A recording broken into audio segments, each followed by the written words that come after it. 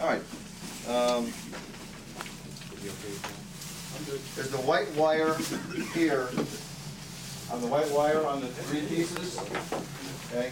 What you do is you take a razor, make a slit. What we want to do is reveal about another inch of this wire um, total. So this is a, they make these things, they make about a half inch piece sticking out of here. Okay, all you want is about an inch, so you double this size. So use the pliers if you want to cut the plastic off, or use the the razor. Like that, you know, about another half an inch off of there. And all we're doing is exposing a little more wire on the white. So see the, the white wire? Actually, I do have a knife. There you go, Mike, Yep. there you go. I looked- White wire. White wire, got it? You got it, razor.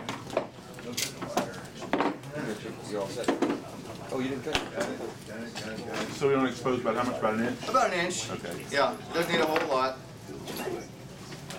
You gotta use the razor, it's kind of what I. Okay, so HAuNTcon does make and takes. This is our first make and take of HAuNTcon 2011. They're doing flickering lights.